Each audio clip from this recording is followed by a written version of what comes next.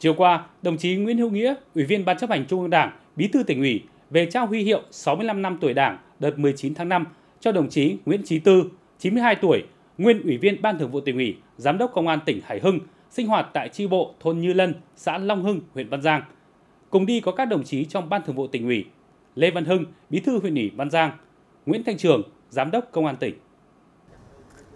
Trao huy hiệu 65 năm tuổi Đảng tặng lãng hoa chúc mừng đồng chí Nguyễn Chí Tư, đồng chí Bí thư tỉnh ủy chúc mừng ghi nhận những đóng góp của đồng chí Nguyễn Chí Tư đối với Đảng. Đây không chỉ là vinh dự tự hào của cá nhân và gia đình đảng viên mà còn là niềm vinh dự của Đảng bộ xã Long Hưng. Đồng chí chúc đảng viên Nguyễn Chí Tư luôn mạnh khỏe, trường thọ, gia đình hạnh phúc, tiếp tục phát huy trí tuệ, kinh nghiệm, đóng góp nhiều ý kiến quý báu cho Đảng, xây dựng quê hương ngày thêm giàu đẹp đồng chí Bí thư tỉnh ủy yêu cầu chính quyền địa phương tiếp tục thực hiện tốt công tác chăm lo đến đời sống vật chất cũng như tinh thần cho các đảng viên cao tuổi Đảng, người có công để các đảng viên tiếp tục là chỗ dựa tinh thần, là tấm gương sáng cho thế hệ trẻ học tập và noi theo.